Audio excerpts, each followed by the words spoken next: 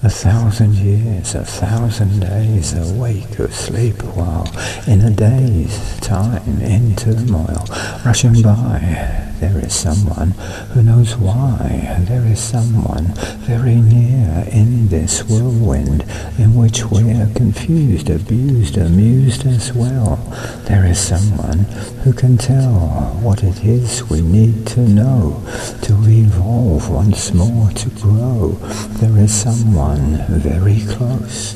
We're the someone with a host to consciousness of inner peace here then gone we are at least elevating how we feel in the turmoil, its appeal dissipating as we float, the peace within and like a boat sailing over storm-tossed seas, calm inside we are at ease, breathing in and out and in every moment to begin a thousand years, a thousand days where nothing lasts and no one stays.